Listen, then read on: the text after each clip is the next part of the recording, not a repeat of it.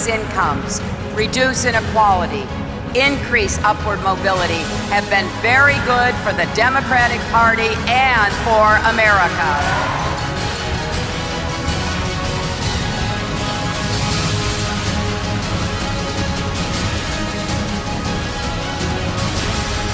It's a vital tool. It's an important tool. It's maybe the most important tool that they can think of. We're going to build the wall. We have no choice. We have no choice.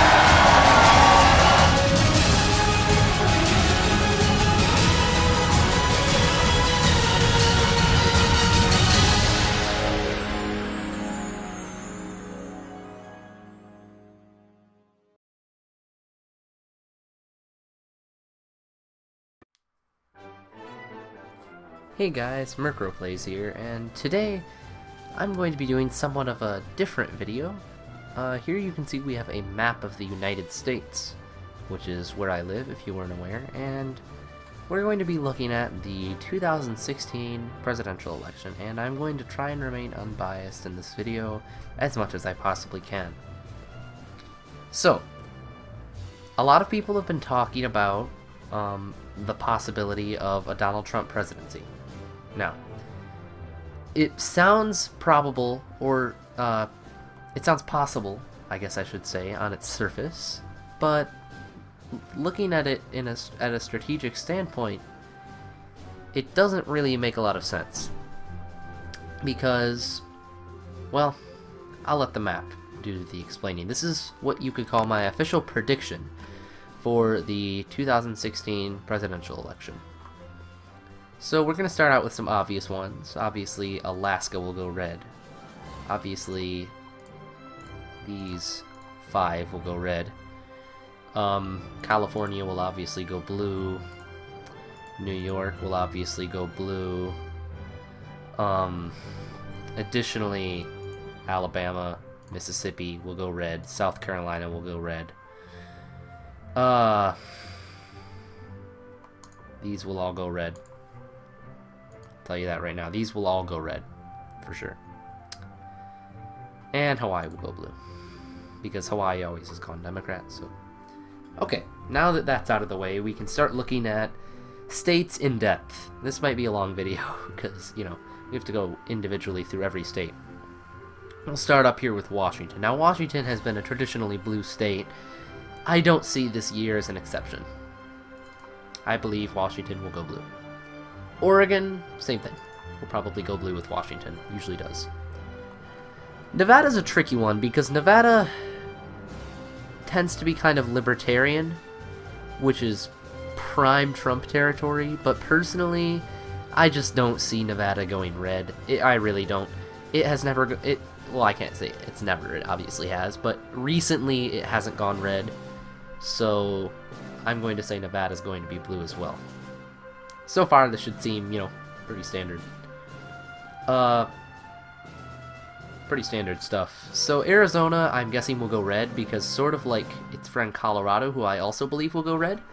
These two, and this whole part of the country really, tends to be quite libertarian. And Trump really appeals to those people because Hillary Clinton is what they would call the establishment left, where she tends not to very really um, appeal to libertarians. So even places like Colorado, and Montana that have gone blue in the past, I really don't think Hillary Clinton has much of a chance in these places. Now, here's where things start to change. Get a little different. I believe New Mexico will go blue because Donald Trump did insult New Mexico's governor publicly, which I think definitely hurt his chances in New Mexico. I don't think he has much of a chance there anymore. Uh, I'm going to come back to Texas. Texas is trickier than you might think in this election. Um, now we're up here looking at uh, these three, and these, I believe, will all go blue. Because this is where Clinton really starts to shine in this general area over here. Uh, in this major, like, capitalist left type area. So, Iowa, I believe, will go red. Missouri, I believe, will go red. I'm Gonna come back to these. Illinois, I believe, will go blue, just because Illinois tends to go blue just because um, it's Chicago mostly. Uh, high African American population, um, and African Americans tend to be Democrats as a general rule. Um, it's some number over 90%, so Illinois will most certainly go blue. Indiana, I'll come back to Indiana because Indiana's tricky as well. Ohio, I believe, will go red because Ohio, Donald Trump did decently well in Ohio, even though John Kasich, I believe if it weren't for John Kasich, he would have beaten Cruz in Ohio because John Kasich, if you didn't know, Ohio is his home state, so that was the only state he won in any of the primaries, so I think Trump has a pretty good chance in Ohio. Let's move, we'll come back to Philadelphia. Let's move up here into the northeast.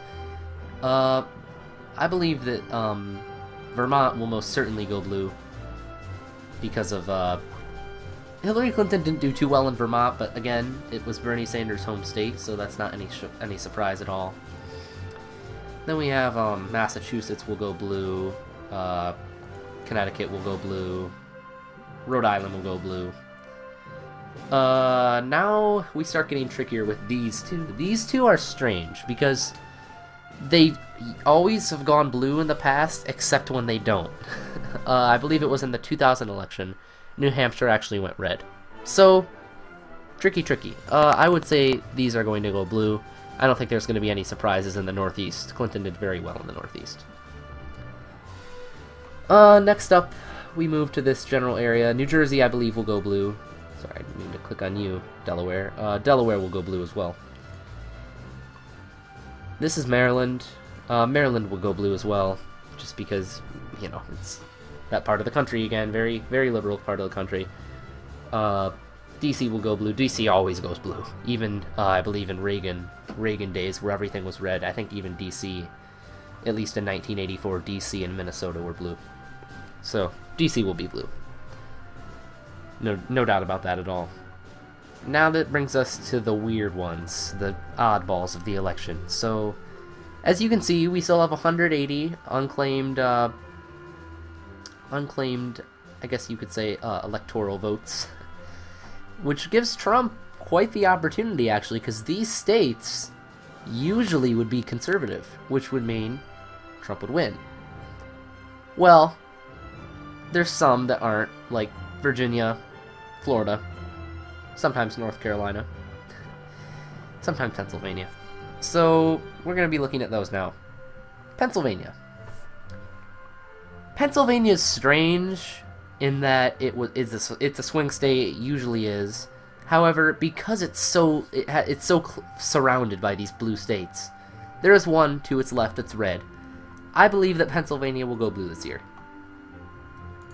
Still, 160 unclaimed electoral votes gives Trump uh, definitely an opportunity to to pull ahead, assuming he wins most of these. But here's why I don't think he will. Indiana, I believe, will go red, just because Indiana usually does go red. Indiana is a conservative state, as a general rule, with the exception of Indianapolis. Big cities tend not to be very conservative, but Indiana will go red, almost certainly. Uh, there's a chance it could go blue, but I'm quite certain Indiana will go red. Now, we're down to these three. Uh, West Virginia and Virginia.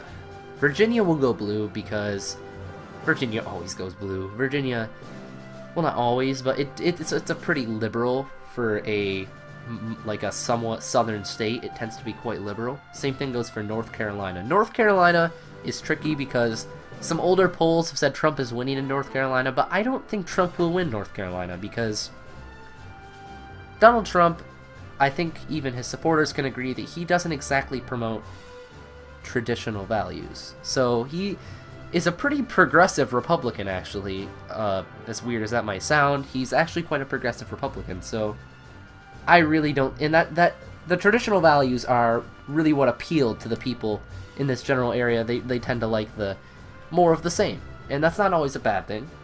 Um, they they really like traditional values, and Donald Trump doesn't really bring that to the table. So I think that Hillary Clinton, on the other hand, did very well in the South and it's very close in North Carolina, but I think it's going to go blue.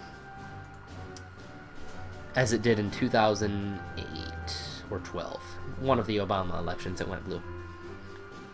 West Virginia, hmm, I would say West Virginia is probably going to go red.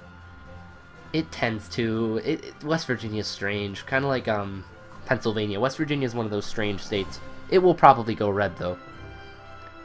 Kentucky. Now, you might be thinking, whoa, Kentucky will go red. Kentucky always goes red.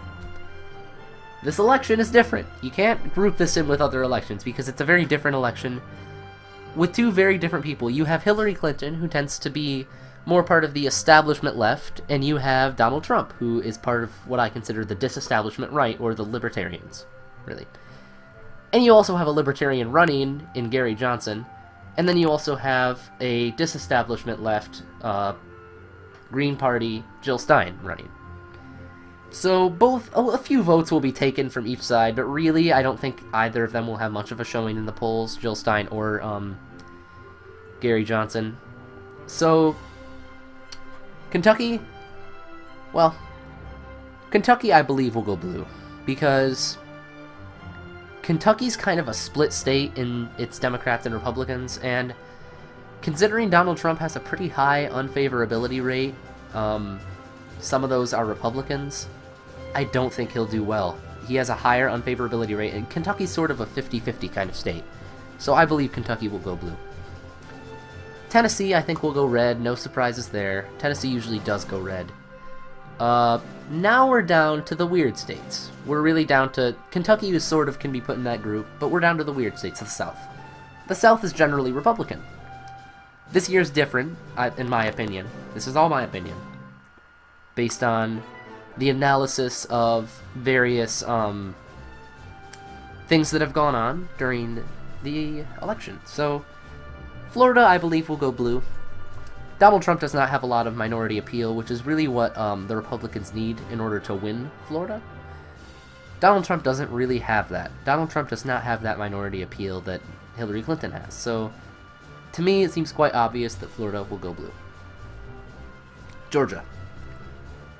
Now, a lot of people have been saying they think Georgia will go blue this year. I disagree, because technically speaking, Hillary Clinton is quite close to Donald Trump in Georgia. But Georgia is so... The conservatives in Georgia are very conservative. Um, and I don't think... I can't imagine people in Georgia voting for Hillary Clinton, so I think Georgia will go red. Now we're down to three. We're down to Arkansas, Louisiana, and Texas. Now, Hillary Clinton was the first lady of the governor of Arkansas back in the 80s. Maybe 70s, but the 80s. Um, next to Bill Clinton, who was the governor of Arkansas. If you guys did, I'm sure most of you knew that, but she was the first lady.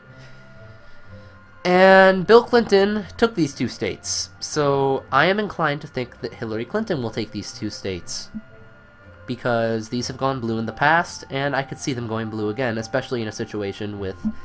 And you have to also remember, Bill Clinton was running against George Bush Sr., who was from Texas. So these, by all means, should go red because they're so close to Texas.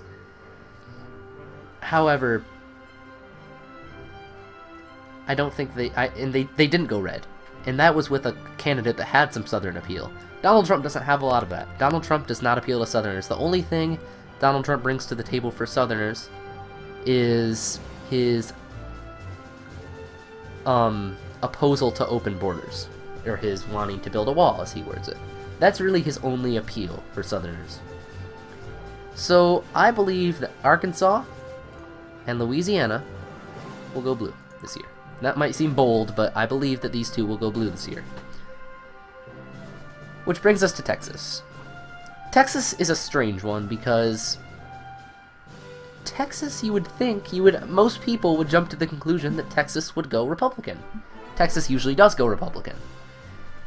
Plus, Donald Trump's appeal to Texans with his um, building of the wall, he, that appeals to a lot of Texans. It really does. A lot of people are all for that.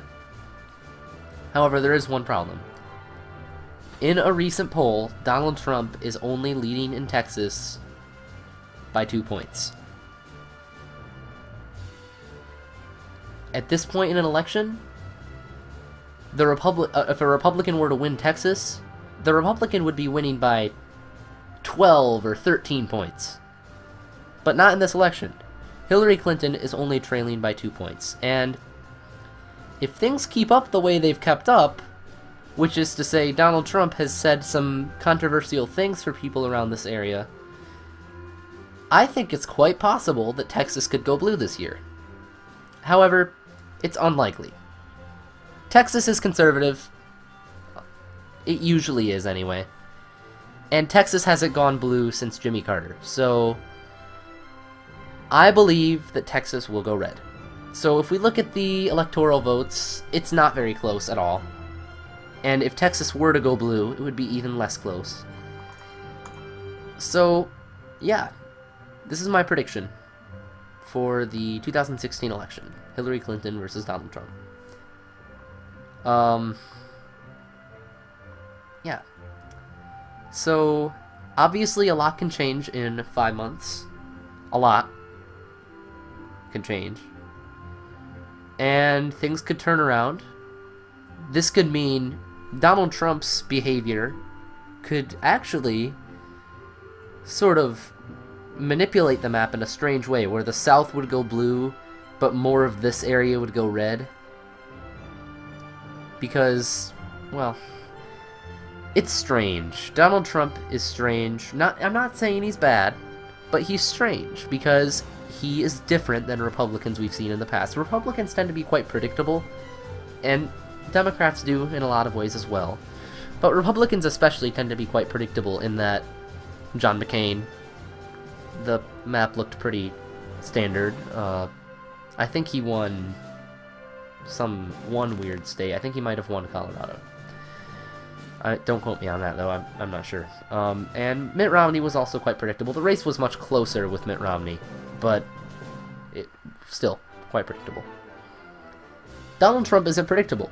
We can't predict Donald Trump. Donald Trump might completely turn around his campaign, and he might win back some of the states down here that he's lost, which is entirely possible. But right now, where we are on June 19th, 2016, or 18th, but yeah, June 18th, 2016, Hillary Clinton will win the election, in my opinion, by quite a bit. Because I don't think the American people are ready for such an odd and unusual candidate. Now, this is my opinion. If you guys have any objections to this, or believe any states would be red or blue, contrary to what I have stated, I'd love for you to comment in the description below, or comments below, excuse me. That would be lovely for me, and I would love to get a conversation going. Not, not an argument, but a conversation going in the comments regarding this, because this is very interesting. This is one of the more interesting elections, and I think this is going to be a historical election in a lot of ways. So, hopefully, I've remained I've re remained as unbiased as I possibly could be, and I hope you guys enjoyed the video, and I would love for you guys to comment below what you think the results will be for the 2016 presidential election. And if you guys want to share your maps or suggest some things to me, that'd be great too. So yeah, I hope you guys enjoyed the video, and thank you for almost 100 subscribers, guys. You have been absolutely very, very supportive to me, and I really appreciate it. So thank you very much for that. And I will see you guys next time. Peace out.